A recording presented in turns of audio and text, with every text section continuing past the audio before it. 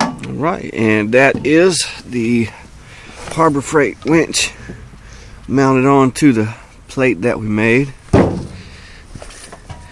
And that's the quick connect that we did.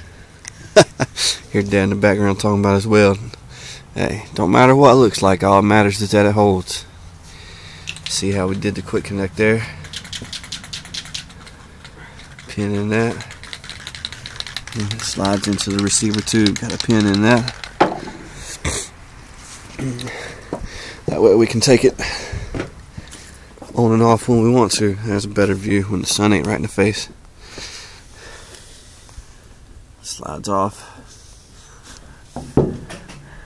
The whole thing slides off of this.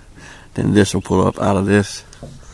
We can still use our pocket for our sideboard. And that's it. It's mounted on our 16 foot trailer.